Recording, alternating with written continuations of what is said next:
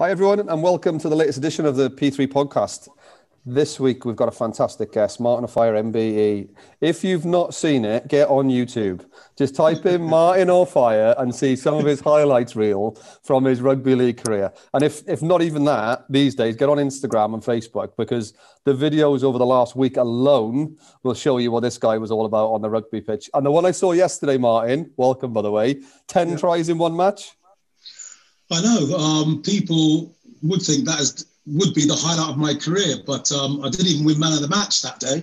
I think Dean Bell was my centre or one of the centres who played in that game. I think he scored a hat trick, and I just always thought that you know if you score ten tries, you uh, automatically win man of the match. And I, I tried to uh, post it on Twitter, but I couldn't. I put it on Facebook, uh, the video, because I did another podcast with the, I think the rugby league guru in Australia, and so he uh, you know packaged it up, and I and I thought I'd, I'd post on socials, but um, uh, the clip was too long to put on um, to put on Twitter. So I thought I put a little post on. You're, you're doing all right when your when your highlight reel from one game is too long to put on Twitter.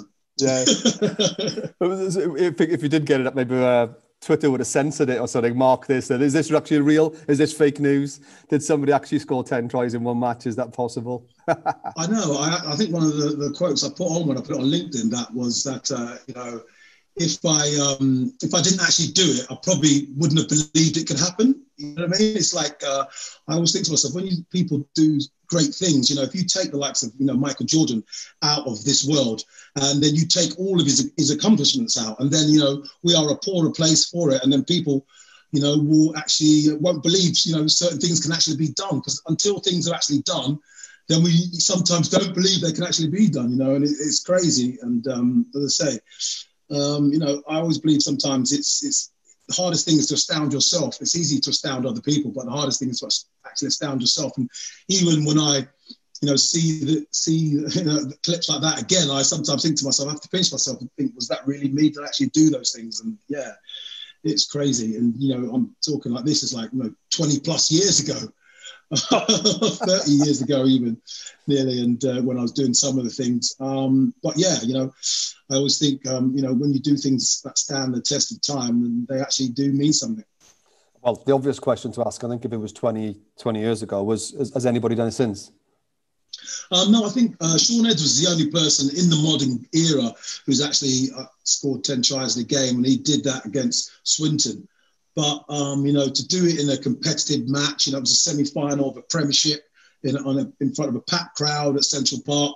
Um, I think um, you know the commentator at the end of the clip. If you go onto my LinkedIn or, or, or um, Instagram page, you see it, and he, he says, you know, like in come decades uh, to come, you know, people probably still be saying that, um, you know, I was there that day. Because when you experience something like that, you know, if you're there, you know, I'm fortunate enough to to have seen Michael Jordan play in the flesh. I've, you know, I'm, I'm fortunate enough to have seen um, Floyd Mayweather fight in the flesh. You know, and th- those are things that you'll never forget. You know, and if you can create something which you know lasts a test of time, I always feel that you know you can forget careers, but you can't forget moments. And if you can create a moment that stands the test of time, then you're doing pretty well. Obviously, I've had a few moments. You know, the, the one that probably people think stands out, you know, is obviously me scoring that try at Wembley in '94, where you know Alan Tait was, um, you know, my, my, support cast. Having, you know, if I didn't run around him, then um, you know I wouldn't probably have a statue at Wembley. But uh, yeah, you, you, there's a few things in my career that that stand out. As I say, I've been retired now longer than I played. You know, I've been re- retired for 18 years. I think my career was only 15 years long, and um, you know, you're only at the pinnacle of that career for a specific time. And you know, if you can um, uh, create some great things, you know, in, in, that time, then as I say, you know, long after you, you're gone, you know, the statues, you know, the memories that you've created get handed down from generation to generation, and uh, you know, they can become iconic. Absolutely, and as you were as you were chatting there, I was thinking of I don't know, somebody in Leeds or Wigan, you know, a, a parent or grandparent seeing that pop up during this, you know, these difficult times of 2020 and calling the kids and grandkids over and go, hey, watch this. I was there. I was there when this happened, you know, and it's undoubtedly that's going to be happen just by the power of social media now. Um, going back into, you know, your mindset when when you were playing rugby, was it was everything just sort of automatic, or were you, or were you sort of really conscious of having the the right sort of physical and mental approach to the way you played?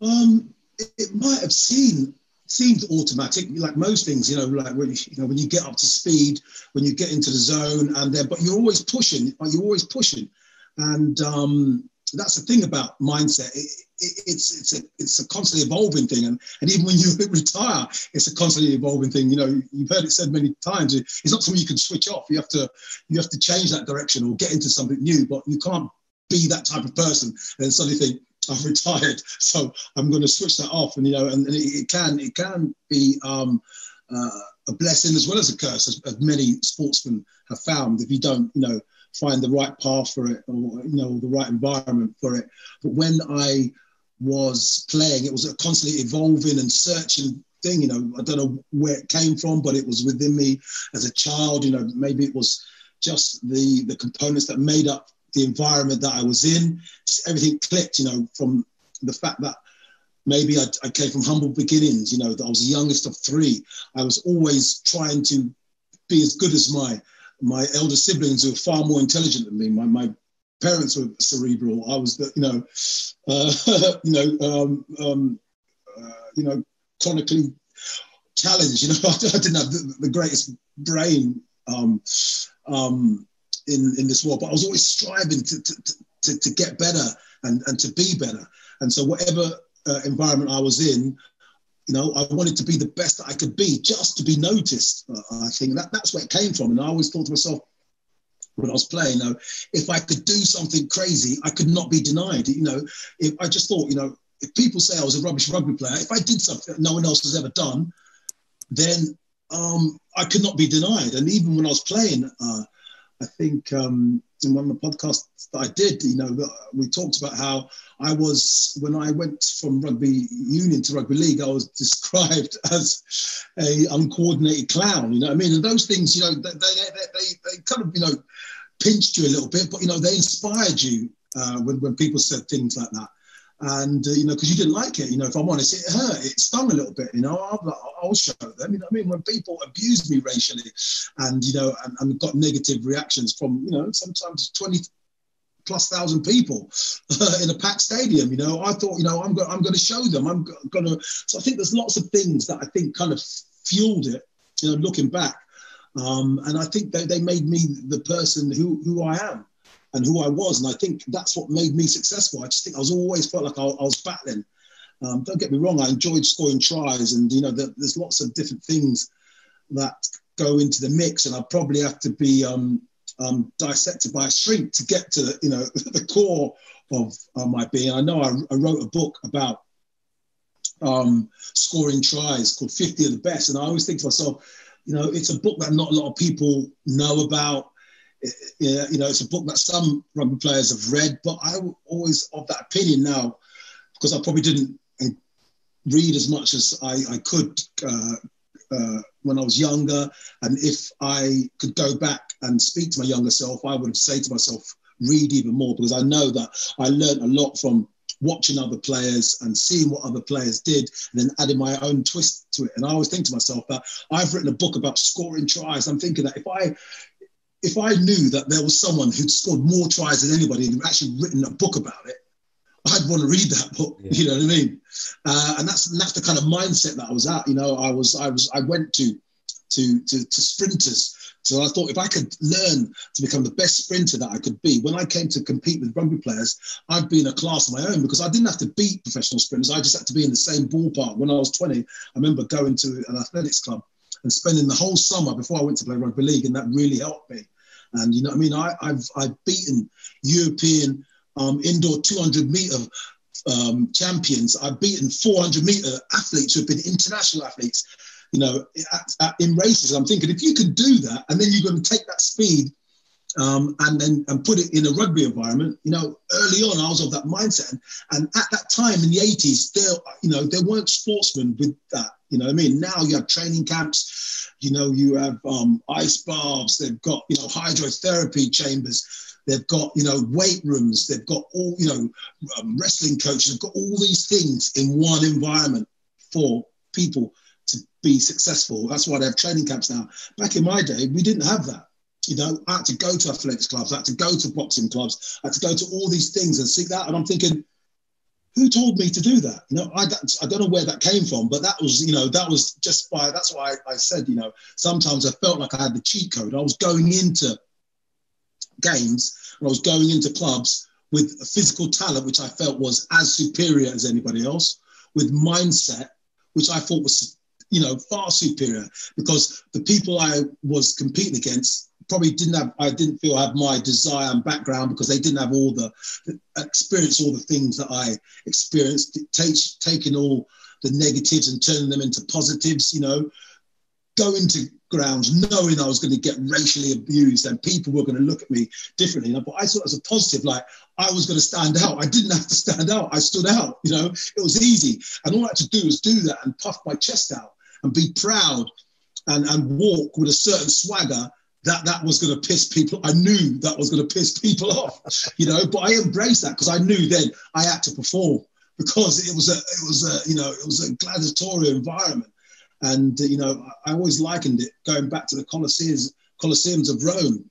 That I always think to myself when those gladiators retired from that environment, they still must have thought to themselves, you know, I miss those days, you know, because it, it's a tremendous buzz, isn't it, to have your life on the line, to, to be in that environment and to thrive on it. They must have thought, God, you know, I miss those days. And but people feel, oh, that's, that's crazy. How could you miss, you know, putting your life on the line? How how can you miss being in that environment, that harsh environment where people, you know, literally obeying, you know, at bated breath, they just want to attack you and kill you out. And I said, no, because in that environment, I thrived. You know, I was a success uh, I got so many great things, and there's many stories of going in, into big games, even in 1994, going into the Challenge Cup final. Then, you know, after having such a, a great start to my Wigan experience in 92 when I was bought for half a million pounds, scored 10 tries in the game, went to, to Australia, was the man of the match in the Sydney uh, Sevens for Wigan. When we won that, we beat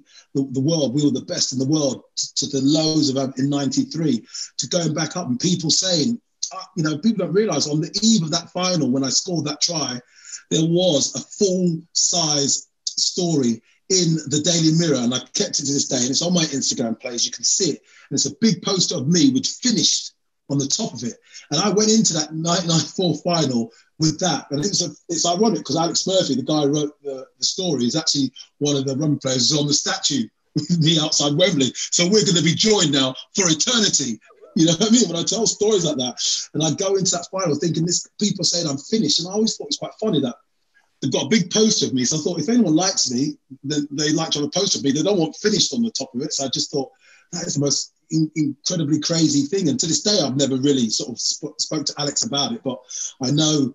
You know, in this modern world, it's clickbait. You know, uh, you know, it, it, it's getting people Tyson to a story, but I'm thinking, I've been signed for half a million pounds. I've done all these great things. I've been the top try scorer for four seasons, the four seasons I was at Widnes. I was signed for half a million. I've done all these things that no other run player do, has done. And still, I'm going into one of the biggest games of my life. And they're saying I'm finished. I'm the best of a bad bunch. So that is the motive. And I, I, two years earlier, I'd won the the the, the Lance Todd, which is the the man the match at the at, at Wembley final, done these great things. I thought to myself, that's what I was going into. I thought I've got an opportunity in front of 80,000 people to create something. Because it was more to me than winning, just winning and winning. People can't understand how I said to them how depressed I was on the on the um, coach on the way back from the 1992 final, and people would say to me, Martin, You've just been signed for half a million. You've scored 35 tries in half a season. You nearly became the top try scorer in the competition after only playing because I had to sit out the first, first half of the season because I was in dispute. You've won the man of the match. You've done this. You know, you, you proved all the doubt was wrong. I said, no, I'm not happy because I didn't do what I wanted to do. I was all about legacy. I was on about, I was on a different plane to, to people because most people say they'll be satisfied by that. And that's I was not one of those sportsmen who you classically hear after games, and you hear it a lot in football. Oh yeah, I'm happy. Uh, you know, I didn't score, but you know the team won because I was not of that opinion. I thought if the team won and I didn't do what I was meant to do, surely what am I doing there? How do I justify being there? Surely next week they're going to get somebody else to do my position because if the team can still win and I don't do what I'm going to do, if you get someone in to do what I can do and actually does it, then the team's going to be better because that's the mindset that I, I was at. I just wanted to go out and, and win. So I was not happy. I was literally sulking on the bus and people could not understand it.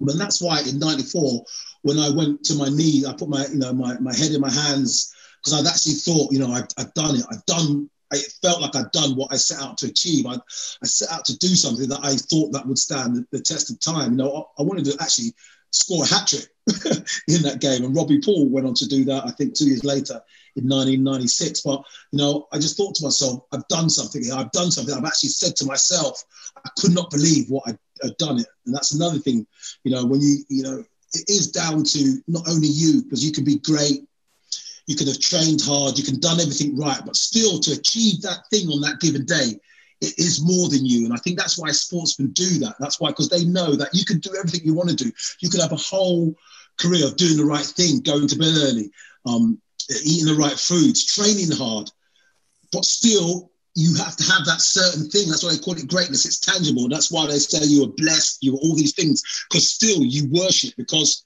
it is more than you. Because there are many great people who have got great talent who have worked hard, but they still don't get that moment. You know what I mean? There's some great people, you know, even Jonah Lomu never won a World Cup, arguably, you know, the most transcendent, you know, sportsman from the rugby field. And he's never won a World Cup. You took, his, you took his name out of my mouth then.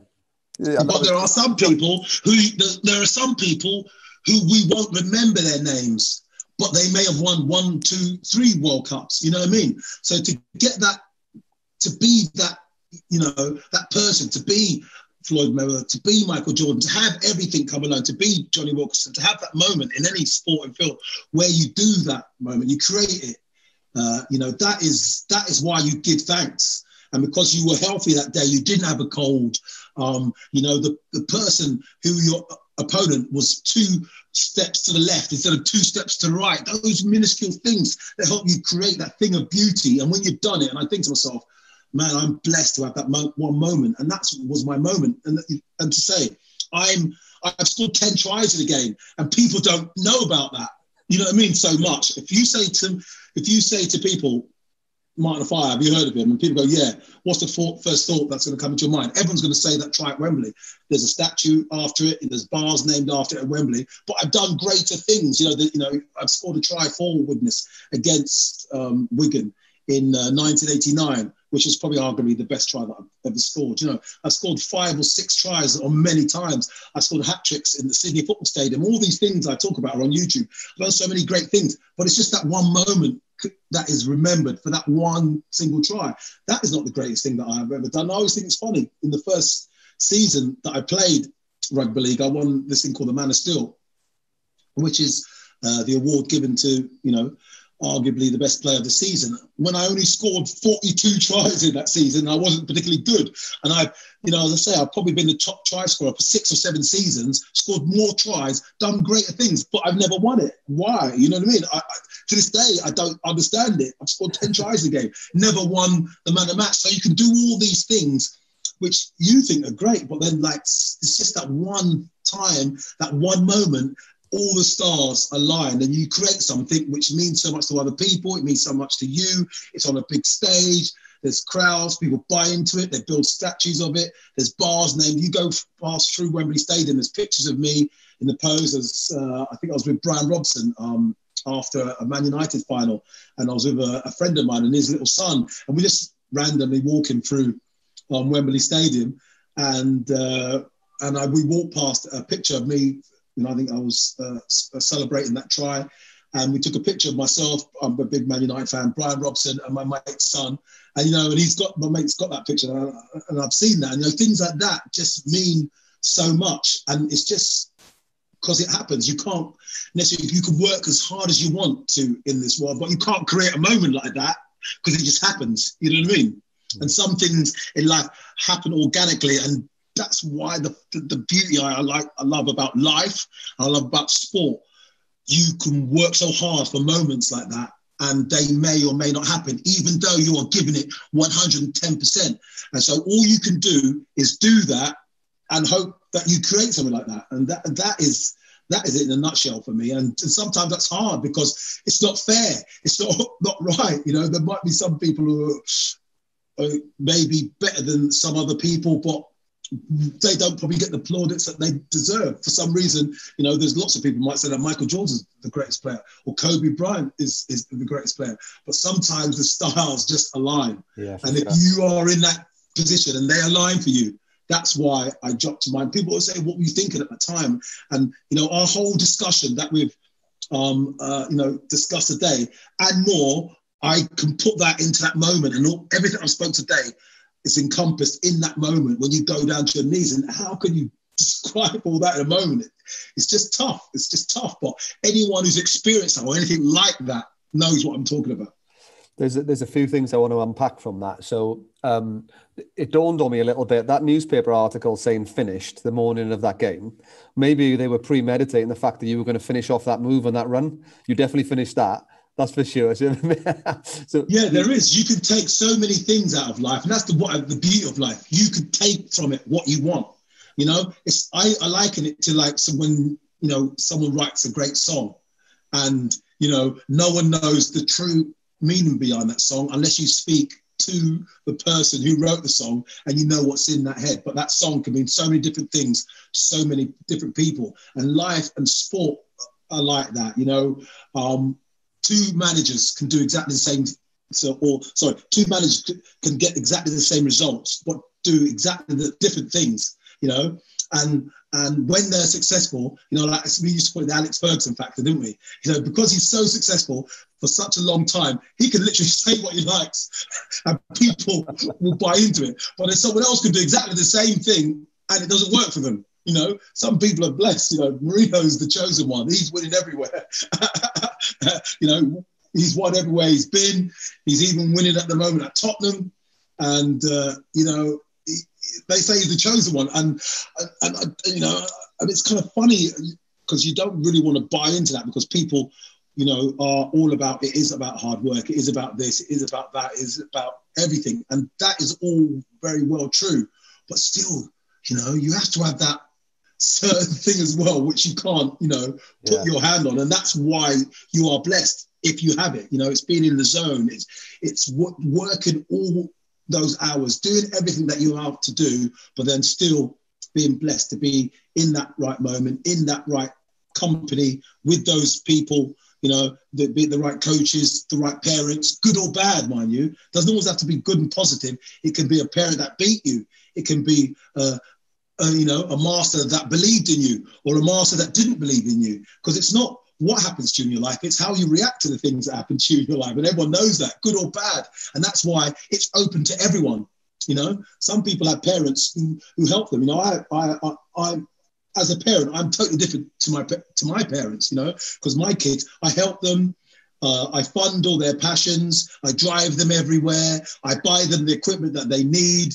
You know, but you know, that can be either a help or a hindrance. You know, if someone had done that for me, I may not have been successful. I needed an, you know, a, a negative environment maybe to, to thrive in. You know, I, I, you know, I love my parents, but you know, I had to fight them to do what I wanted. You know, maybe that's what that meant that for me to to um, to do that. It had to mean more. I had to go against my parents. You know, I, I, I literally left home to actually go to Hong Kong to play the Hong Kong Sevens in 1987 because my mum said I, I couldn't go, and I thought, no, this is my path. I really have to do that. And so I fell out with my parents, but maybe I needed that. She said I could go, then maybe you know I would have went, but I maybe didn't, wouldn't have played so hard because I knew when I was in Hong Kong, I better make something of this because I burnt them bridges. You know what I mean? I knew that when I was going home, I was going home to sleep on my mate's floor, you know, which I had to do before I let my one back in. So that mindset, you know, I had to. If I went out there with my mum's blessing, she gave me money to go. Um, she said, you know, Mike, when you come back, oh, there's going to be, you know, uh, be a big hug and, and waiting for you. Maybe I wouldn't have, have, been so much, but I just knew that I had to do something. You know, and I got the opportunity to go out there and play against the All Blacks as an unknown, and that competition really opened me up because all of a sudden I came back from Hong Kong. You know, England used to send um, um there was a big, I don't know if you know about the history of rugby, there was a big divide in rugby back in the, the, um, the late 80s, uh, early 90s, whereas the Southern Hemisphere were on the road to professionalism. But, you know, Will Carling famously made that quote about the old farts, and, and, and you know they wanted to keep it the status quo in the northern, northern hemisphere, and so they didn't send international teams to, to competitions like the you know the Hong Kong Sevens. I had to just go out there with a uh, invitational side called the Penguins. And uh, so we, so I went out there, and I just thought this is an opportunity, you know, to play against the All Blacks as an unknown, to play against Australia. Uh, we beat, I remember we beat um, uh, West, Western Samoa as they were back then in the semi-final. I got to play against a current All Black winger called Terry Wright, and and, and, and to score in that game and to, to play well and to get my picture taken with the All, All Black team. I was actually in awe to be in that environment, and I didn't get opportunity. I didn't. I never had an opportunity like that to do that. So when I came back, you know, I got picked to play for the Baa-Baas. Also, I got picked to play for England's England um, students. I got picked to play for for the, the London division against the North uh, in a final um, rugby union trial for the first World Cup in '87. Didn't get picked to play for England, but rugby league scouts were seeing me, and all of a sudden I got this opportunity. I didn't know that that was going to be my, my, my break, but you know I was just it was just the stars aligning for me at that time. You know everything. I was in that that time. I was just in that moment at that time, and I was doing the best that I was doing in my journey, and that's why people always say, don't they, have, have faith because yeah. sometimes you have to have faith. But I think I think what what's really standing out from you, Martin, is there's there's there's a word coming out and it, it keeps replaying in my mind. is your hunger for for it, you know, whatever that was, you know, hunger for for success, and success could be um, playing at the highest level I possibly can, or proving myself, or proving my parents wrong, or I want to go and play at the highest possible standard, you know, the Hong Kong Sevens, for example. Um, but what I think has to happen though is for the stars are always aligning, but you have to put yourself in alignment with them. You have to do something. You have to be proactive. If you're waiting for them to come to you, somebody will get there first. Is that something that sort of rings true with you? Absolutely, I because you don't know when it's going to happen. That's what I'm saying. That's why you have to have faith because it could be today or it could be tomorrow, or you know, it, I'm a firm believer that that is that it can't it can't be um, uh, absolutely destiny for everyone because life does not work like that. You know, we can't all be millionaires. We can't all be um, the world's greatest basketball player. We are all, can't all be the world's greatest um, rugby player, and we and we don't know what's in the future. That's why yeah. that's why it is faith because it's going to happen. You just don't know when it's going to happen, and some people give up the yeah. day. You know, as they there's lots of that's why when you see all these um uh, old wives' tales or whatever that you had. They are so true. Yeah. You know, it is darkest before the dawn. You know what I mean? You do have to have faith, and and, and, and that's why all the things that they, everything just becomes mm. crystal clear. Once you've reached that promised land, everything becomes crystal clear, then and everything life just seems to make sense. Yeah, you know? and there's a, there's a big message there, and especially if there's any youngsters listening to this that are obviously looking to get into sport already, you know, playing league, union, football, whatever. I think one of the biggest things there is is being being consistent and being grounded. So being consistent with your performance, being consistent with your drive to improve, um, but also being grounded along the way. And opportunities will come again if you keep the faith.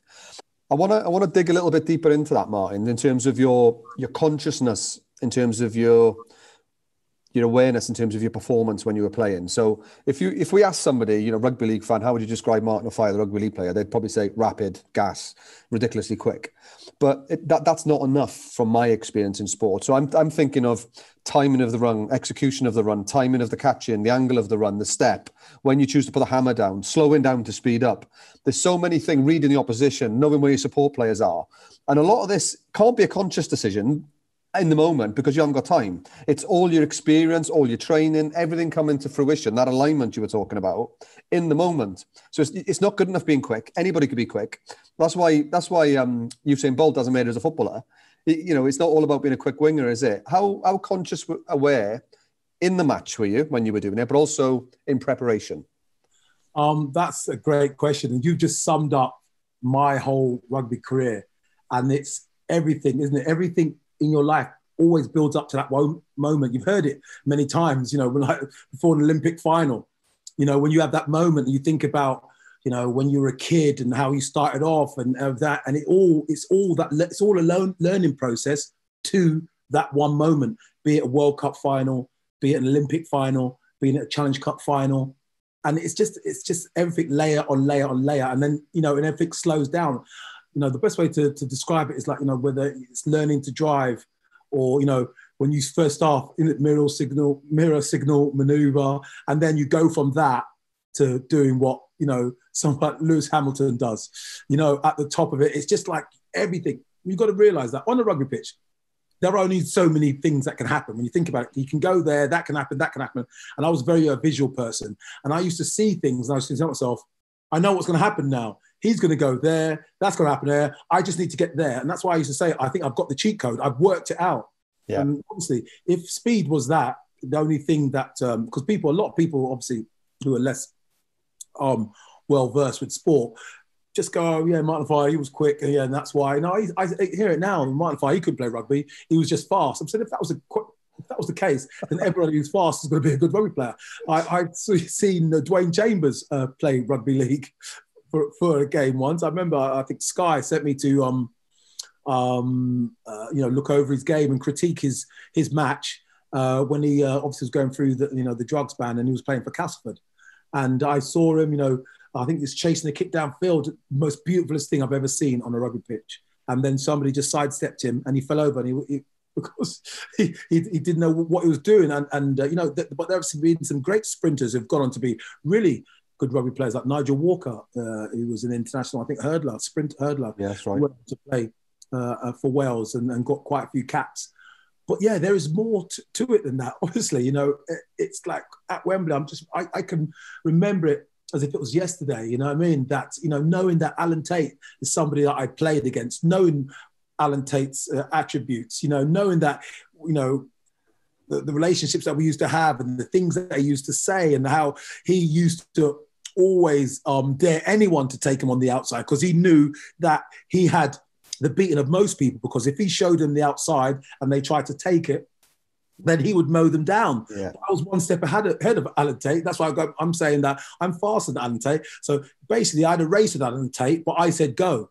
That's basically yeah. what basically what I was doing with him in my mind. I was playing tricks with him. You know, I used to say to him, I, you know, if you read my book, 50 of the, of, of, the best, you know, I talk about 50 of the greatest tries, not all my own tries, but the tries that I'd watched and what I'd learned from them, watching people like Ellery Hanley, who was not as fast as me, but could still score tries from a great length. And what I learned from him, how I knew that when you're a sprinter, you don't sprint for the line, you let the line come to you, knowing that when you're sprinting and somebody's behind you, if you run as fast as that person, then you get to line. You don't when you're in front of somebody, you don't have to run faster than they have to run faster than you to catch you. Just learning simple things like that, which people may or may not know, and uh, being in situations.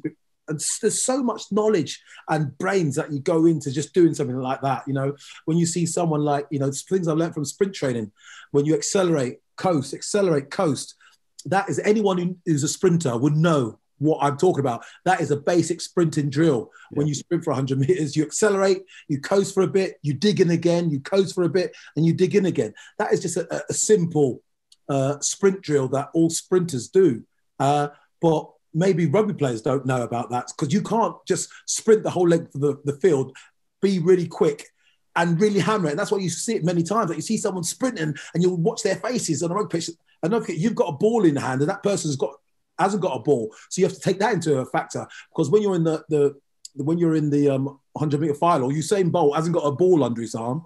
But obviously, I've perfected the art of sprinting with a ball because I've run with a ball for a lot of my life. You know, so if you're coming to the game late, you put a ball in a sprinter's arm, then that's going to upset their balance, and they're not going to be able to sprint as well. So just, you know, I could talk to you for 10 hours and I still wouldn't get everything that I was in that I had to use into that try, into that game. You know, even think, and when you have that brain in that moment, and there's certain things that you organically think in the moment as well.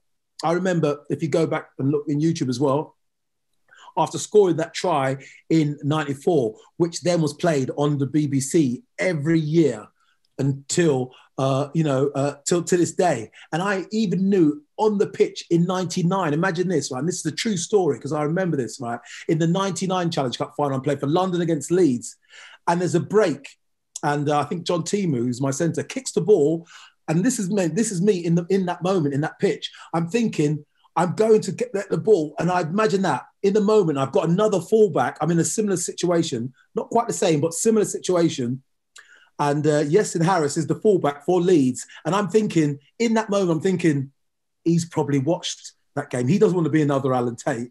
He doesn't because Alan Tait is ridiculed now forever because he let me go on the outside of him. People always say, why to Alan Tait to this day? Why did you let Martin Offiah go on the outside of you?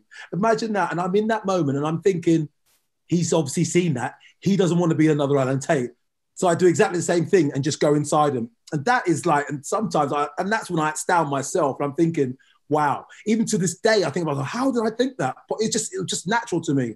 And I think when you're thinking at that level, that's greatness. That's that's what gets you above levels. Is anyone going to think that? Got to think in the moment that you're playing against somebody, you're thinking how old he is. He's definitely seen that try. He does, and he knows how people ridicule Alan Tait. He doesn't want to be another Alan Tait. So I was about almost like said it to him, like with my body, went, I'm gonna go outside and went inside and I scored. We still ended up losing that game, but you know, that was still the first try. And I'm thinking that just puts into psyche the things that I, I used to do. And I was thinking to myself that there's so many, so many things that can happen. There's so many, so many pictures you can create, right?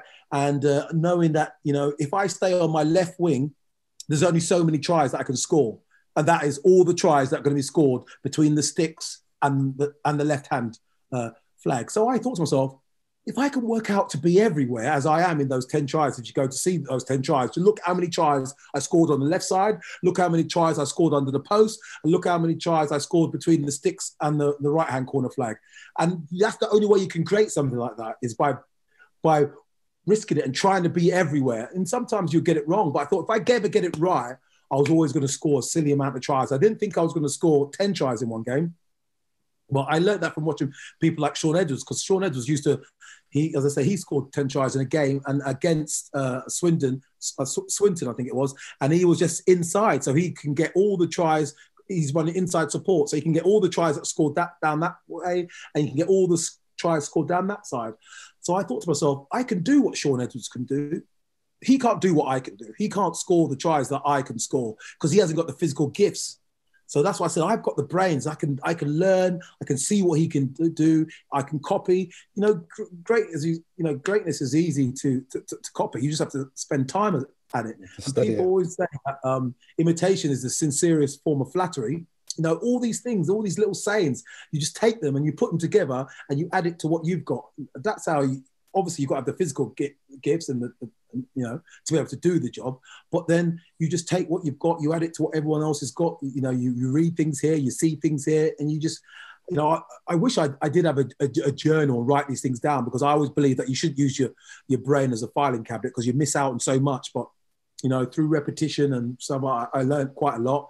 And that's what I was able to, to do, the things I, I did. And, but I still feel I was lucky that I was able to, to still achieve them. Yeah, brilliant. And I think, you know, I asked the question about, you know, how conscious with you in the moment, and the answer is very conscious. You know, if you're oh, making that that split second decision in the moment, clear as day, to the point where 20 odd years later you can remember making that decision, that is being very conscious in the moment. And I think sometimes sometimes we can our brain our brain can play tricks on us. So sometimes we overthink things, so we end up doing nothing. Yeah. Uh, and other times we don't think about it at all, and we let our, you know, the automatic response kick in, which is great as an instinct, but it doesn't always serve us right. Yeah. Um, because then we've got to, if it's not serving us, we've got to think about it consciously to take the learnings from it. Yeah. And I think I think that's a great little segue into the next topic I want to talk about. So there's undoubt, undoubtedly the fact, you know, that you've had a hugely successful career across both codes of rugby.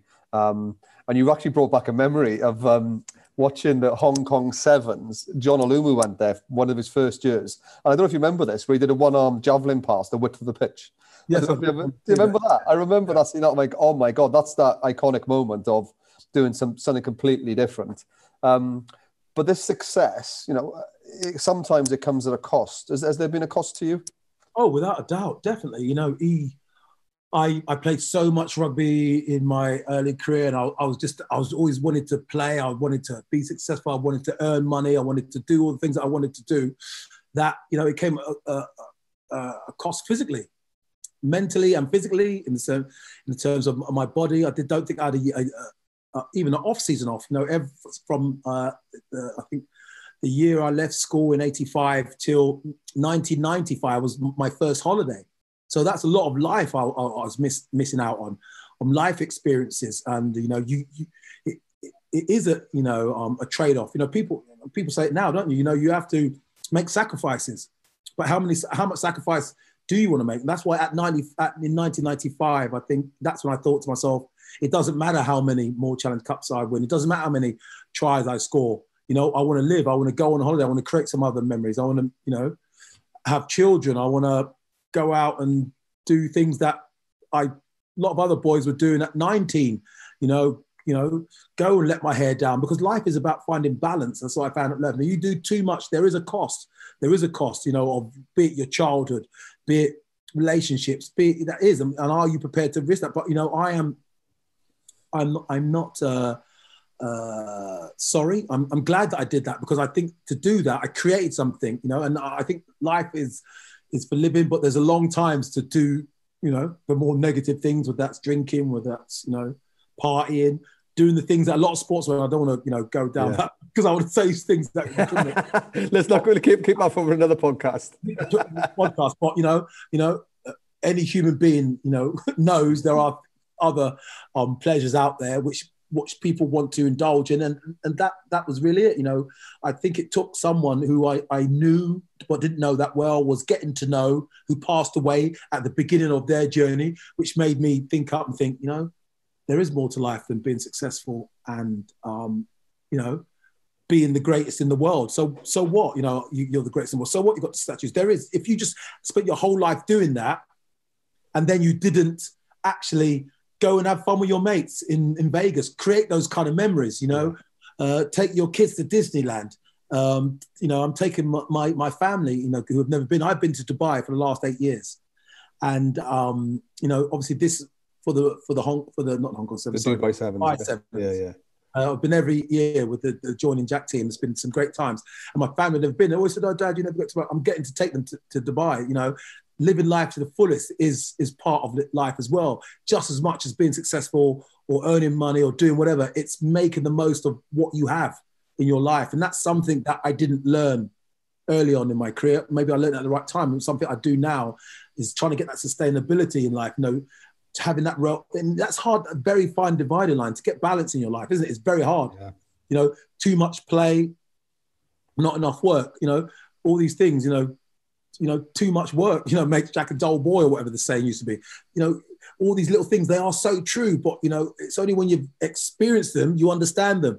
Because before you experience them, they're just words. You know, mm. if I say to my, they're just words, and, and because you you have that life experience and you and you you have your um your foot to the metal, you know, you get to experience experience those things. And I would say it's better to be on that path and have the negatives of of too much work because you, sooner or later you will wake up and realize, you know, that too much of striving. I, I, I had an, another interesting conversation. You know, th- these are things, the lives, experiences that you can't buy. You know, I'm sitting in Buckingham Palace waiting to collect my MBE sat next to Steve Redgrave, who's going to collect a CBE, and we're talking about stuff, you know, and we're talking about, you know, being driven and whatever, and, and why, you know, the reason why he went to so many Olympics and uh, to do it because he couldn't, couldn't turn it off, you know, and to get to learn from people. You know, when you meet, when I meet people who are success, I always try and take a little bit from them. You know, if I'm having a conversation, if you get, if you ever get to meet someone who's who's achieved anything, don't waste that time. Just get to answer them one question, and not a silly question, but one question which you think that I can draw something from that person, you know what I mean, out of them, and uh, you understand the psyche and why you do things. It's because you have, because he has to. There is nothing else for him to do. You know what I mean? Because if you if he just went to one Olympics and then didn't go back to another one, you know what's he? What else is he going to do? He's just going to when you reach that mountaintop, unless you go back down and, and try and either climb a higher one or climb it again, climb it faster, or do something else, then you you allow negative things to happen in your life. You know what I mean? Is, you know, the devil does how you know you don't have to be religious, but the devil makes work for idle hands, or however you want to play in. Yeah. You have to keep moving because if you stand still, don't care whether you're Michael Jackson or whoever, and you've you've come, you've got the world. You, you know, if you stand stay still, bad things can happen. Negative thoughts come in. Uh, you know, you, you go down a bad path. You know, that's why people often spend the first half of their life achieving, and then the second half of their life giving it away. Why do you? Because all, you can't live on consumption. If I've got 10 billion pounds and all I just keep going down around is spending, spending, spending, that's not going to give me joy and happiness, is it? No, but if I can actually do and then go give to an orphanage, build one of these things here, or use it to create something even bigger, or do something. You know what I mean? It's like that's that's the only thing that can happen. That's and when people get that and understand that, they can continue to have benefit in their lives. And that's why, as a sportsman, once you retire, doesn't matter how great I am, right? Doesn't matter how many statues I've got, doesn't matter how many awards I've got, how many knighthoods you've got. You know, once your career's over, it's over. You have to look for something new, and you can't live off the rest of your life with someone saying how great you were. You know what I mean? It's like I get it now. People say, it doesn't, oh, doesn't pay the bills eventually, other does it? It gets to a point where people won't pay. For it. It doesn't bring you. It's nice it's, you know, for that five seconds of oh yeah, you're really great. I remember watching you, but how many times can someone say that? You have to find yeah. something else, don't you? You have to find no, that's why I'm into what I'm in now. I'm into sustainability. I'm into, you know, EV charge. I'm into something. No matter what it is, it's just yeah. a new journey, something that I'm going to struggle at. I may be successful at. I may not be successful at, but it's a new journey I'm on. It's like when when I was playing and people say, "What is the, you know, what, what gave you the greatest joy?" And I often say, trying to become what I've become. That is what gives me the greatest joy. And so now it's trying to do something else. You know, if I can actually um, I'm a big Man United fan. If I can actually be part of the team that is is installs EV chargers into to Old Trafford, I'll be buzzing off that. You know what I mean? I, I found a new thing. I found a, something else to get excited about that I may or may not achieve. But it's not. I, I realize that in life, it's not about achieving things. It's about trying to achieve things because that's the most enjoyable journey. When I see my kids now and they always say, look, they're not going to be better than you. You know, one's good at rugby, one's good at football.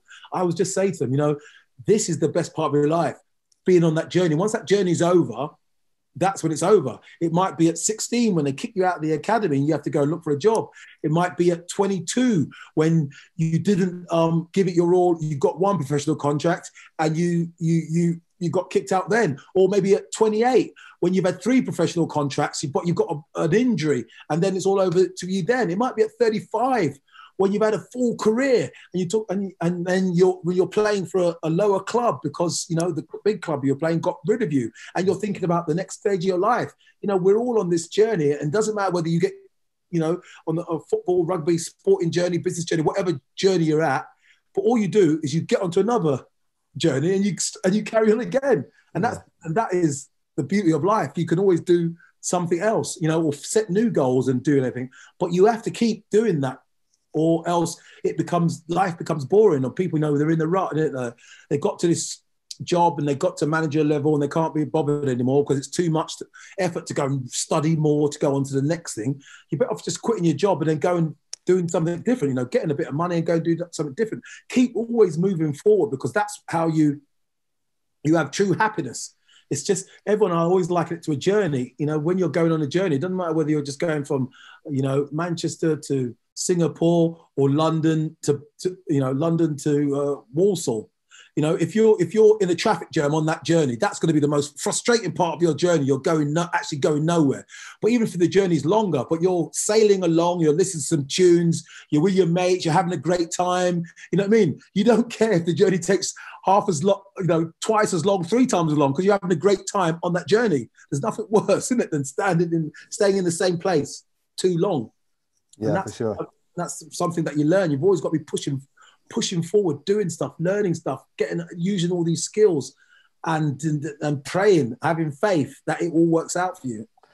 Brilliant, mate. Some wise, wise words there. Uh, what, before we come on to you know what you're on now, what you what you're up to now, and what what the future holds for you, I want to I want to play something sort of back to you a little bit where you talked about you know that you said at a cost, you know, you sort of committed so much to your career that maybe you sacrificed a lot. Some of the some of the athletes and high performers we coach, especially the Olympic athletes, they they literally live like monks. You know, in nine months before an Olympics, maybe twelve months before Olympics, and I'm talking, you know, don't go and see their family at Christmas because they can't risk having a cold or flu. Uh, they're in a controlled environment. They train four, six, eight hours a day, and then the rest of the day, you know, they got their feet up on the walls, you know, venting their, venting their legs and flushing them out.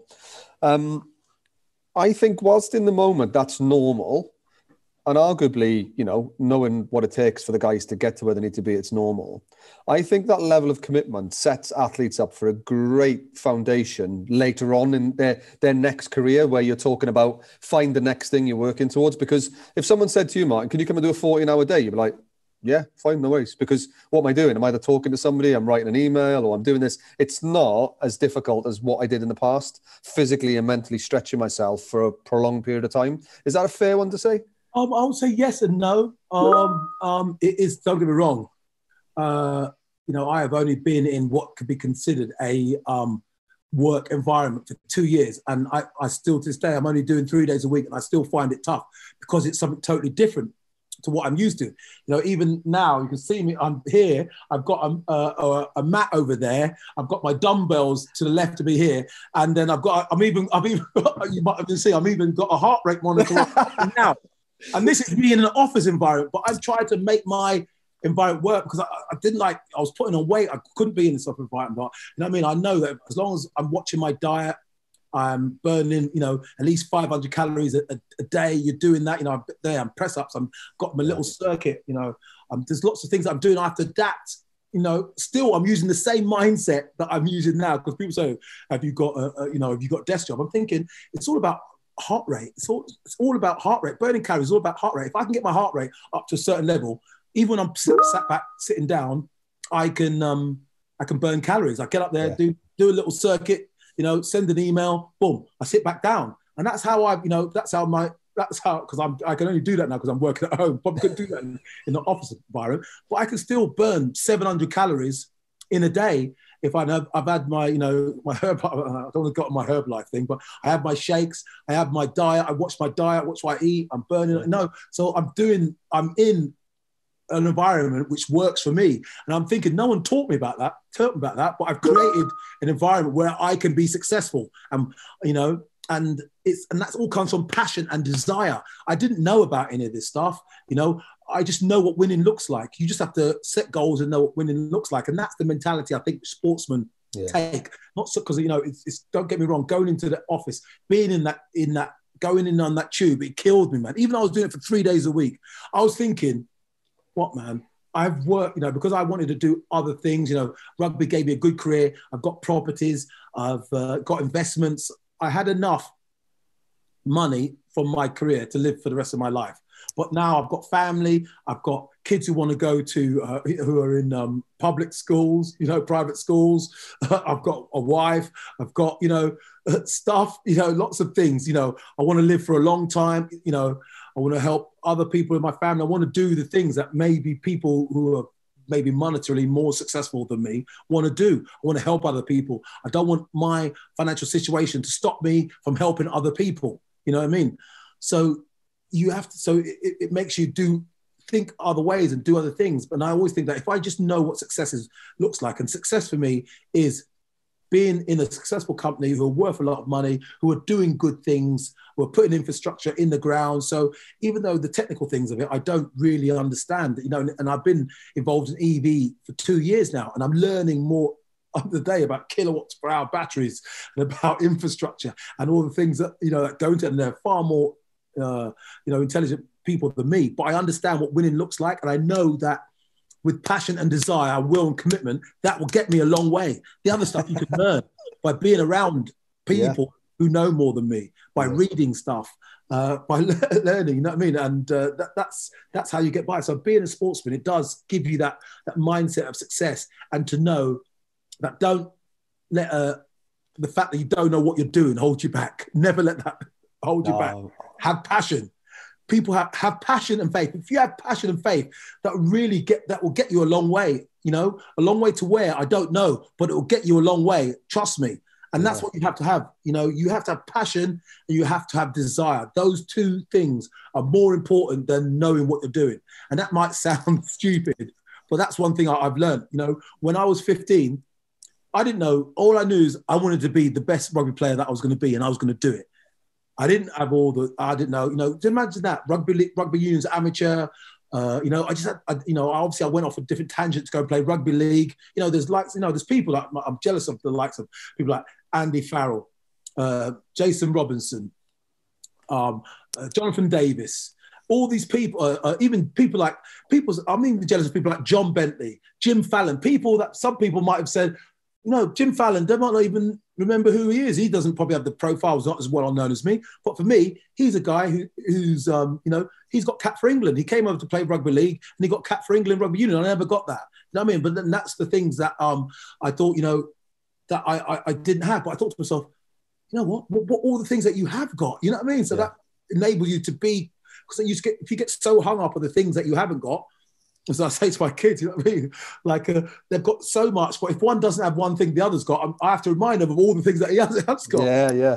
It's, it's, that huge perspective again, though, isn't it? That sometimes when we're engrossed in our own mind and our own thoughts. Yeah, we've got to take that step back and take a perspective and remember what we do have and the opportunities that are yeah, there. Opportunities that you, you, you have, and that's what the thing of being a sportsman is. You like learn it. You learn because of a sportsman, you have to learn because you know if you if I score if you score 20 goals one year you want to score 20 goals the next year, and you want to score 20 goals next year. And that's why the greatest sportsmen who we revere are all those that not the ones who have done great things, the ones who have done great things for the longest. Think yeah. of every great sportsman. It's about longevity, mm. isn't it? It's about re- re- repetition.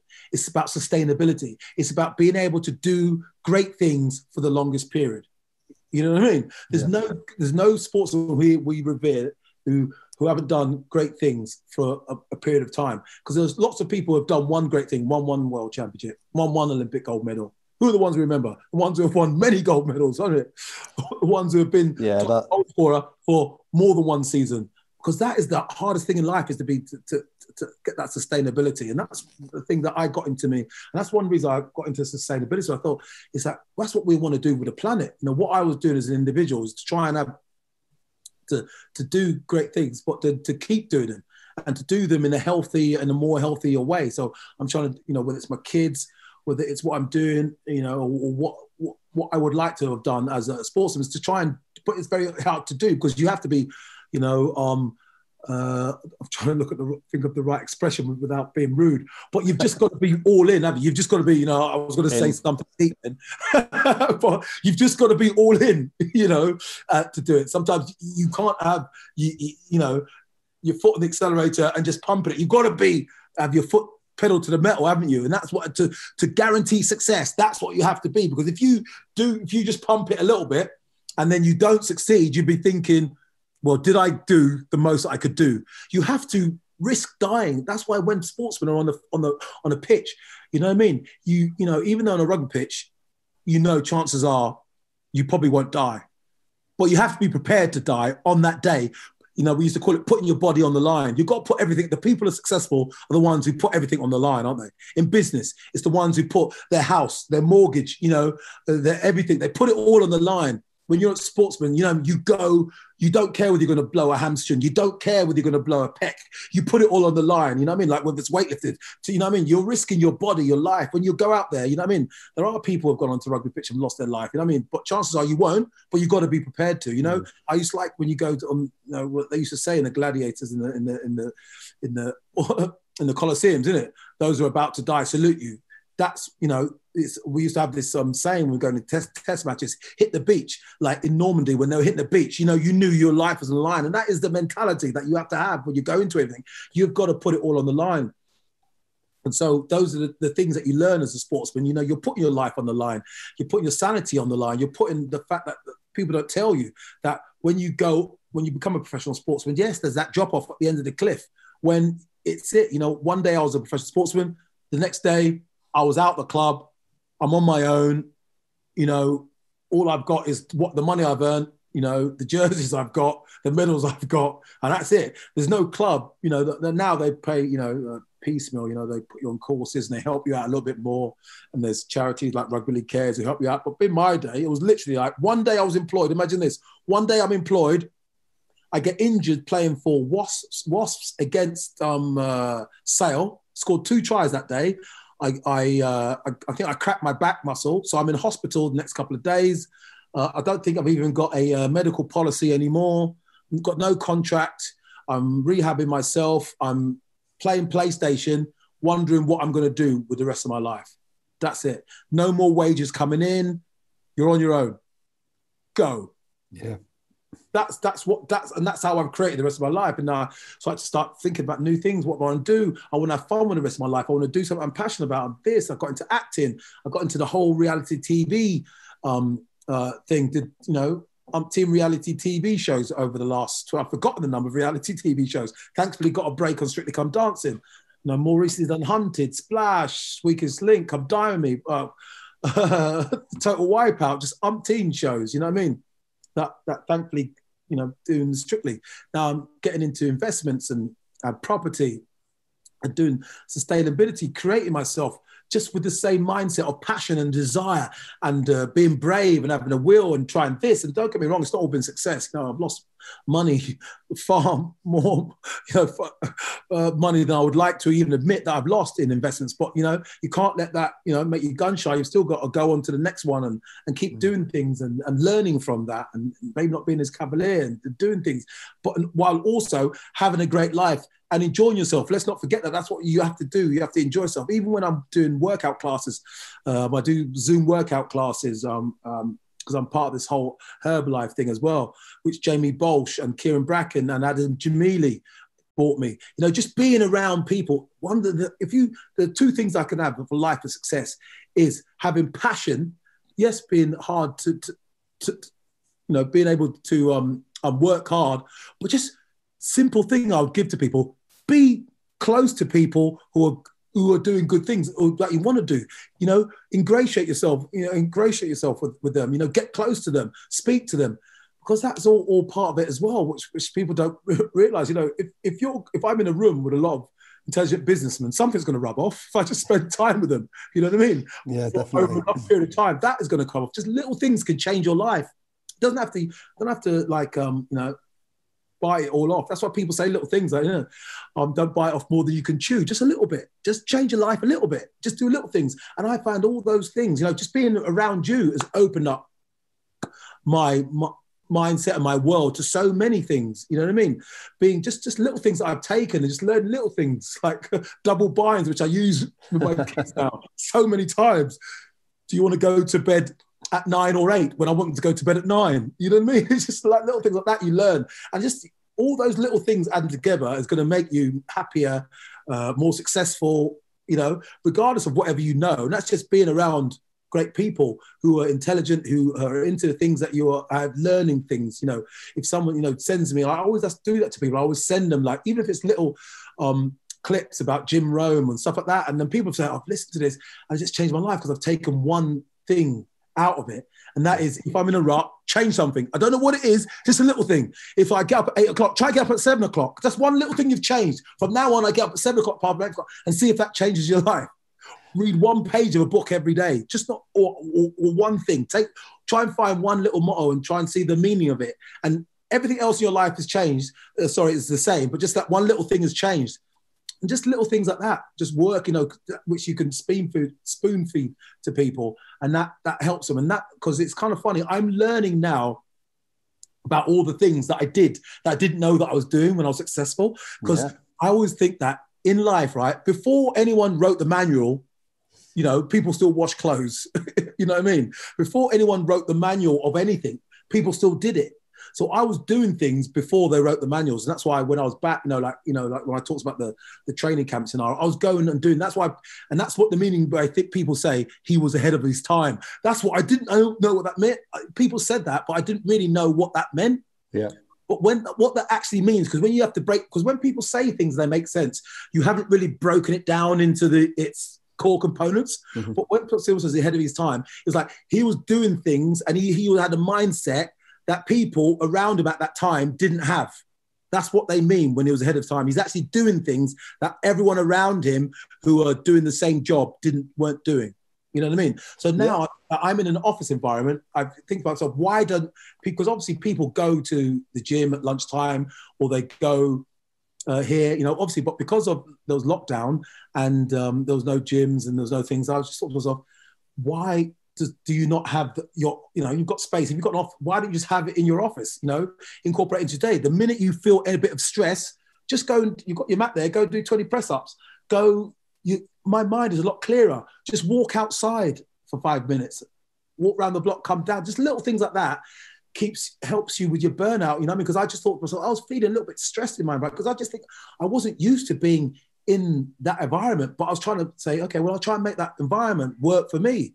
So now I'm I'm upbeat. You can see I'm passionate. I'm bubbly. I'm talking because my heart rate is. if I check it on my phone, I think I think you've burned 500 calories on this podcast. you know what I mean? My, my, my little weights are here. here you know I mean? Yes, he's off. Bit of bicep curl. My little bicep weights are here. Just little things like that. You know what I mean? Little things you can change. Just think of things of, because all those little things add up to a big thing. That's they what do, yeah. realize. Hundred percent. Add up to a big thing, and it just like you know, don't get me wrong, it is more than that, you know what I mean? Because, and I do have a background in it, and I do, you know, obviously people say, oh yeah, there's lots of and lots of reasons why people say the things they do, and obviously the people are going to say lots of negative things. I get that, or they try and qualify things, you know, like saying, oh, Martin was only good at rugby because he was fast. That's just other people trying to justify, you know, why they're not successful. And, and or or Martin, it's because they don't know. They, yeah, they, that's all they see from their blinkered view. They just yeah. see you faster than everybody else. But I tell, you, I tell you what, I tell you what, I, I, might be getting a bit too deep now, and I hope. Uh, you know, please stop me if you want, if, if I am, because you know I, I, I do believe back in the, the, beginning of time. When I say beginning of time, in many hundreds and hundreds of years ago, there was a, a major lie told, and I think that's why um, you know, we've got this whole obviously Black Lives Matter thing at the moment, and I do believe, and this is, you know, and I'm open to, to discuss this with anybody, and I do believe that there was a lie told about black people many, many, many years ago, okay, and that lie was told to justify slavery, okay, and that is that black people are inferior, and that and then so when black people advance and they have their successes then people you have to tell another lie to justify and that's one of the things that people tell another lie to justify the original lie that instead of just like letting things go and being honest and say we're all individuals in this world some are good some are bad some are strong some are, you know and that's and, and we're all people and that's it you know? And i just do think that and that's why it is now. And, and sometimes it, it used to affect me. People say that oh he's only good at rugby because he's fast. You know they, it's, it's like they they have to justify my success by saying it's only because of that you know what i mean? Yeah they or, discount it rather than saying you know he does this on top of that. Yeah and saying instead, instead of just saying he's great they can't say instead of saying he's great they'll just say oh, he only scored 500 tries because he's fast, or he's, you know, I mean, or, or, you know, and so we're all we're all a product of that, like, and, it, and it, it's not our fault. It's just because, and sometimes we, we, we are brought into it. It's just it's because of the world that we came to. We didn't create this world. This world was created for us. All we can do, I know I'm preaching it a bit, but all we can do is like leave it, do the things that we can do, and leave it in a better place. And I feel, but by doing the things that I've done and have the success I have, and you know, giving it a bit of a platform and trying to be good and help other people regardless of whatever you know, of you know that's why I love someone like Nelson Mandela, and he, I think he's one one of the great people, Martin Luther King, who have done so much for this world. And I say I'm getting preaching now because I'm getting it, but I'm saying because they endured so much negativity and still yeah. gave positivity to the world. Yeah, and I yeah, say that you know, like, I, and, and I'm not putting myself on their level. I'm just saying that we're all individuals, and every human does that in their own way. You know what I mean? Whether you're Nelson Mandela or whether you're working in the local fishmongers and you know you you had abuse when you were working there, and then you went on to um, you know do great things. You man, you bought that you know that that fishmongers or whatever it was, and you went on to maybe I don't know employ the son of the person who abused you. You know whatever your story is, that's what it is, and I think that's what truly life is about. It's about making this world a better place, and I think that's the the journey that I think I'm on, you know, and that's why back then, back then I was I, I, didn't really get it, you know, I didn't really get it, but I just I was just striving, even I said in in front of the negativity, and I get people who are today uh, send me messages on on on uh, on Twitter and say. Uh, literally apologize for abusing me back in the 80s because it was a different world we were living on back then. But you know what I mean? And but I believe that it made me more successful, as I say, because it was a negative world. It was almost like I, I, I, was meant for that world. You know, I was meant to do that to bring positivity, positivity as negativity, or just maybe it was just the way that I, it was just the world, world that I was in. And as they say, it's not what happens to you; it's how you react to the things that happen to you. Maybe I was just adapting to the environment that I was in and I made it a, a, success. You know what I mean? I, and if if you hadn't responded the way you did in, in terms of showing them with your performance, yeah, you wouldn't be here 20 years later getting messages apologizing. Apologise. So, so if, you, it, if you let it get to you and didn't perform, then you wouldn't be doing what you're doing now. That's what I mean. I could have, I could have. There's so many, uh, there's so many. Um, I remember just one, just one throwaway experience. I think I was playing for Widnes against Warrington, and I was walking out to the to, to, to the game, and I was actually playing as a team who had another black player on the other side, Des, Des Drummond. So playing for Widnes against Warrington, and I just remember walking out, and then one uh, Warrington fan just came and just held the biggest gob in my face. Okay, and I just thought, wow, I'm not having that. So I just thought, man, I'm just going to go out and I'm just going to, you know, I'm, the way I'm going to show them is by going out. And I, I remember, I think I scored five tries on that day, did so well. But, you know, and I just, I just thought to myself, I took it with pride. I could have done what Eric Cantona did, you know. And I think mm. to myself, imagine that if a lot of black players did what Eric Cantona did, you know what I mean? And just lashed out and and and in the face of negativity showed more negativity, that would make the world more negative, and that you know you, there would be more negativity in the world because even if you've got negative, you can't fight. You know, two wrongs don't make a right, and all these other sayings that come out. And I just, I, and even, without even knowing all these things, I was just doing that. I just thought that's the way I'm going to fight back. That's what I'm going to do because I thought it's going to be for the betterment of me. You know what I mean? And, and that's what I'm doing. So, so in that moment, then, man, let's have a look at that. So there's one example there. So what I think you've got two options, some well, three probably. Yeah. So you've got freeze, fight, or flight, haven't you? So, so you know, Cantona's gone had a fight because yeah. he's lost it. And it, let's be honest, that wouldn't have been the first time that happened to him. Mm. That's that's happened because you know there's there's loads of mitigating. You yeah. either freeze and not perform, or you stand yeah. up to it. So can you can, can you describe to us what what it was physically like for you at that time? So obviously that horrendous things happened. Is it is it then it's like so like do you stand up bigger than yourself? Go right, I'll show you. Oh, Here's in your neck standing up. Like, it fueled me. It fueled me because I know because I, I I challenged myself, isn't it? And it's like uh, it's something I learned a bit later because I you know a bit later on in life I, I, I suffered from a bit of anxiety. Uh, you know, I certainly didn't like public speaking and different things. And but I think it was something that I learned on a course when I was when I was with you, and um, just it is that you know whether it's you know. Uh, that anxiety, it's the same emotion that you feel, and it's just how your body responds to the, the, the same stimulus. Yeah. And because of you know the tricks you play with your mind, that just you manifest it as a positive or a negative. And some people, two people are stimulated the same way, but there's but there you get a different reaction from them. One, it's a negativity, you say, they go into the shell, but some for some reason that just spurred me on. So the more negativity they threw me at, the bigger I was. They didn't realize they were fueling me, and that's why I went on to, to create this things. I created this persona. I became I became larger than life. I, I did feel like sometimes I was in I was you know been transported, and so when I was in big games, it was like this is big game time. I just like I just I just love that adversary, you know, that that that competition. You know, it was you either red or you're blue, and it was tribal, and it was like fight. It was just very primitive. And I walked out there, and the, the crowd. Oh man, I'm thinking about it now, and I'm thinking that if you can get into that situation, that is you know, when you take that away from somebody, that's why you have the drop off. Yeah. That's where the drop off. It's addictive though, isn't it? That adrenaline level of adrenaline is yeah. addictive. So don't get me wrong, it's not as it's you know any nothing is going to come close to that, and you have to accept that. But things that we do now, I, I DJ in Ibiza, I, I have ex- wonderful experiences. I do things, you know, and uh, and I talk to people, and even now, this is the closest I'm going to get. And I and I'm, uh, you know, I watch my old clips because they put me into that mindset. And I love it when people still buzz off those clips. They stand the test of time. I can put a clip up on YouTube that is 30 years old, okay, and somebody who's never seen it can still say it and go, wow, and message me. I buzz off that as well, you know what yeah. I mean? And it's like you, you, kind of you find a way to to to, to keep going on. Yeah, and I, I think as well, I was watching your um your Insta or your, your Facebook videos of when you're recording your, your boys either playing football or rugby and you're commentating or a goal goes in. That's yeah. you buzz. That's you buzzing as well. that's me buzzing as well. You know, I mean, it's on their little journeys because I know whether I see my son, you know, what say one plays rugby, uh, one uh, is more into football now, even though he's still still playing a bit of rugby. But you know, when I I'll buzz off as much seeing them play in a in a kids game as one day if I ever got to see them play in any big game. You know what I mean? Because you've got to enjoy that journey, and every moment is you cherish it. You know, yeah. it's special and that's something I've I've I've learned. Every moment is is is truly special. And maybe when I was as young, I didn't realize that, and maybe it took me going into you know becoming a professional sportsman, going on to play you know in Australia in front of 50, 60,000 people to realize that you know when I scored a try at school, you know that was just as special, and to cherish every moment, and then to keep on that journey, you know, and that's what you kind of you learn that as you get older.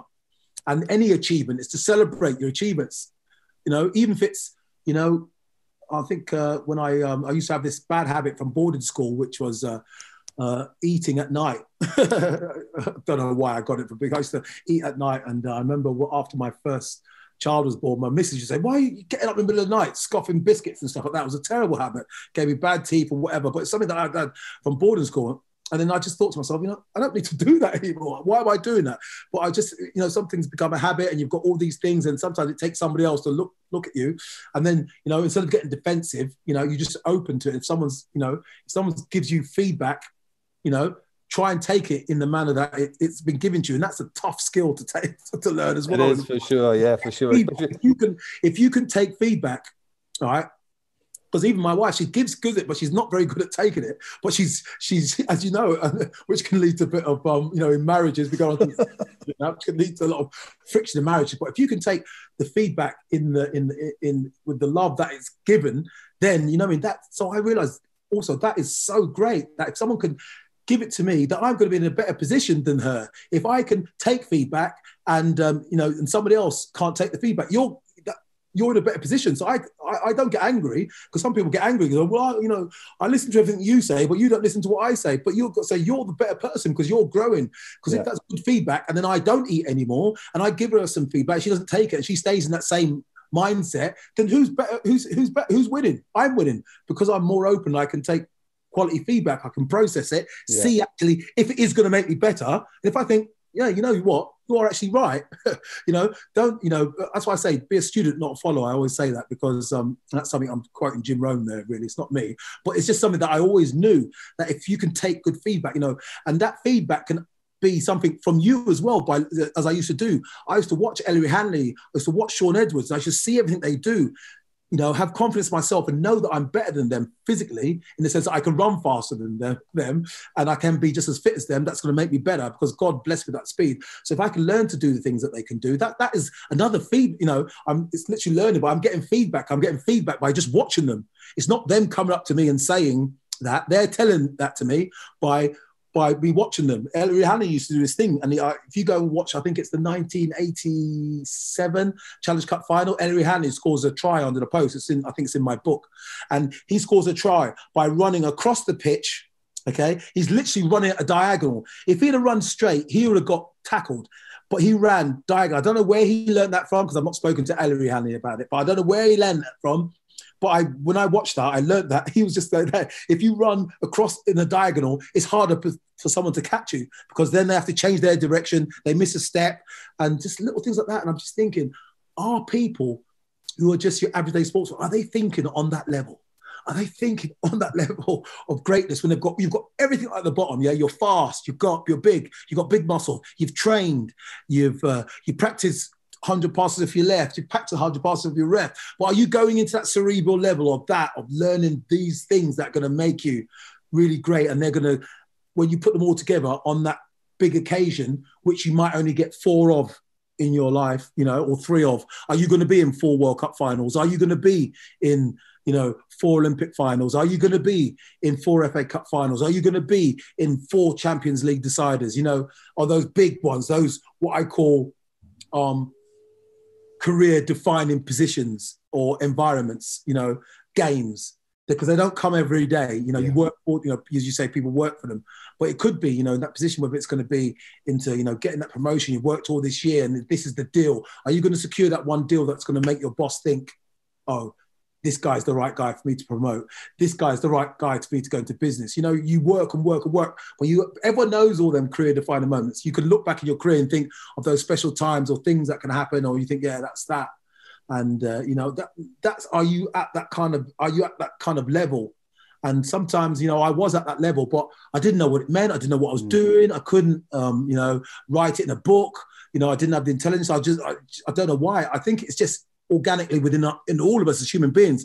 And that's why some people think wrongly, let me t- tell you, but think they are special.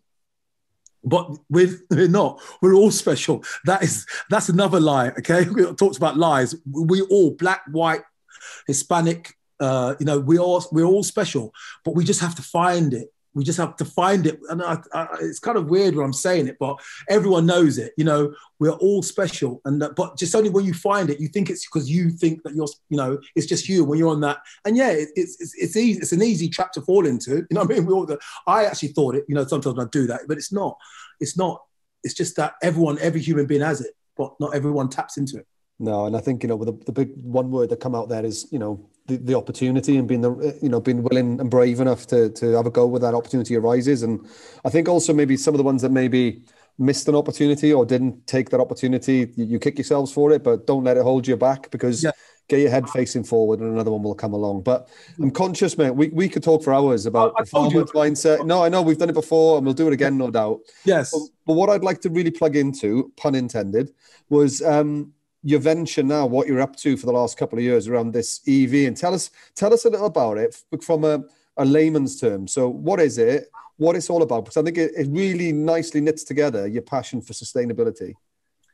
Um, yes, as I say, it was just a, a chance meeting. So also, I always think that certain things are meant to happen. You know, you're meant to meet the the the, the right people. You're meant to um, uh, be in certain places at the right time. And then sometimes it used to like freak me out a bit because I couldn't, I couldn't, um, you know, sometimes I, it would get beyond me. And I know you can open up your mind sometimes, and sometimes open up your mind's a scary thing sometimes. And then you want to control it and stay, you know, and, and be in control of it. And that's what we're doing. Sometimes you have to be brave and just give yourself to it.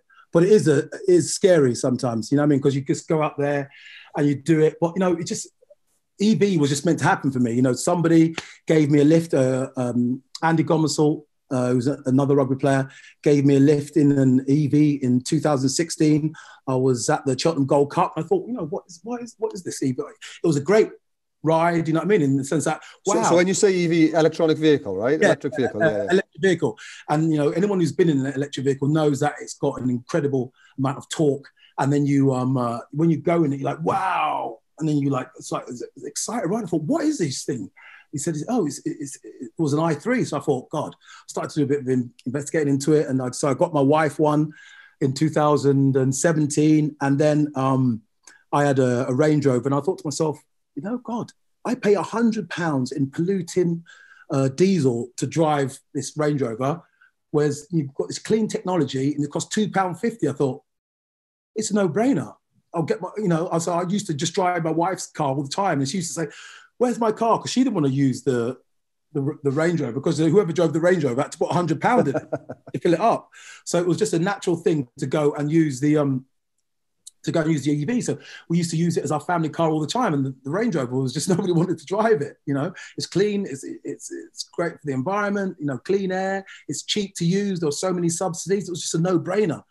And then until I wanted to go beyond the range of the vehicle, because the i3 could only do 100 miles. And then when I went to try and drive from London to Bath, which is only 10 miles beyond the range of the, the, the i3, then I, I thought to myself, God, what the hell is this? I couldn't find a charger anywhere.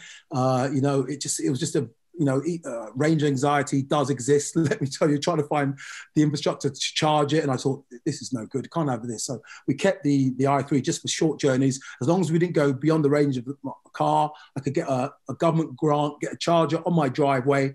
It was, it was perfect. As long as I don't go beyond a 100 mile range, you know, there and back, then the i3 was great. So then I, I did a bit more investigation, found out about this company called Tesla this is, you know, when no one really knew what Teslas were. I'm talking about uh, 2017, just going into 18. Uh, only uh, not that long ago, but you know, still, you know, it was still n- new. Most people didn't really know what electric vehicles were, even in 2018, and found out about their infrastructure, superchargers. So, uh, you know, it was a little bit of a barrier to entry because um, um, Teslas are quite expensive. But you know, I managed to secure uh, an older one for um, a reasonable price. And then it just opened up the whole world to, to us, you know, with regard to traveling.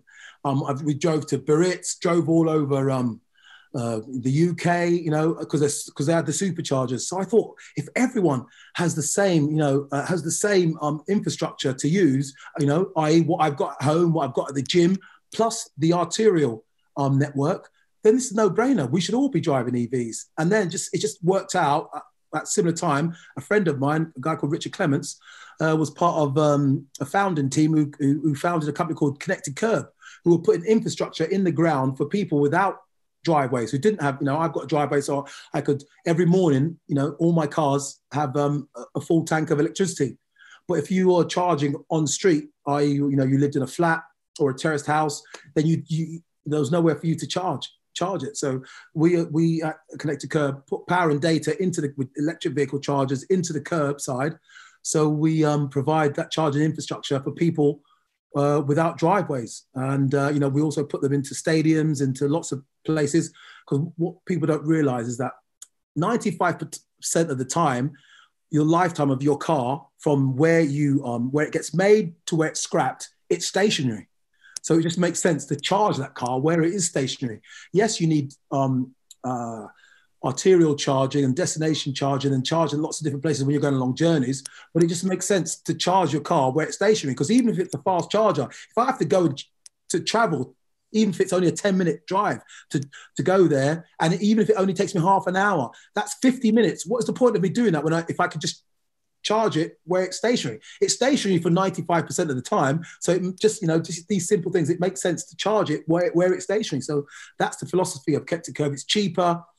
Um, it's it's it's uh, better for the environment because we know that EVs are better for the environment, but also the infrastructure that you're putting in the ground should be sustainable. I it should be there for a long period of time. It should be made from recyclable materials, and just everything about the the ethos of Connected Kerb was was sustainable. It was a no brainer. So the, when the opportunity came to get involved with a company like that on the uh, on the on the ground floor, I just thought, wow, you know what I mean? I was, it was just like a, a, second comment. It was something I could get passionate about. It's something that I would get up and go to an office for. I would go and make those drives. So even though going into an office environment, as I say, even though I was doing it three days a week, still it was, it was foreign to me. I was just like looking at everyone on the tube thinking, is this what my life's come to now that I'm going, I'm, I'm a commuter? You know, when you're a sportsman, these are all the things that you, you think to yourself, at least I don't have to, I'm not doing that. You know, you're blessed. You know, there are maybe some negatives about getting injured, getting injured and having operations and, you know, um, you know, retiring, uh, maybe your prime, you know, a lot of things they don't tell you about when you become a professional sportsman. You know, it's not said on the, the brochure at the beginning. Yeah, you're gonna, you know, be adored and you're gonna play in Challenge Cup finals and whatever. But there's also this. yeah, there's certain things that go written which you have to learn about. But um, you know, when I was uh, going out, but I thought to myself, this is something I'm passionate about. You know, I can get involved in. You know, so I have been a champion for EV. You know, I know that the government have moved the ICE car ban. You know, ban on the sale of new electric, oh, sorry, new um, um, petrol and diesel cars from you know um, 2040 to 2035, and now to 2030. You know, so th- it's coming. You know, so I mean, yeah, yeah.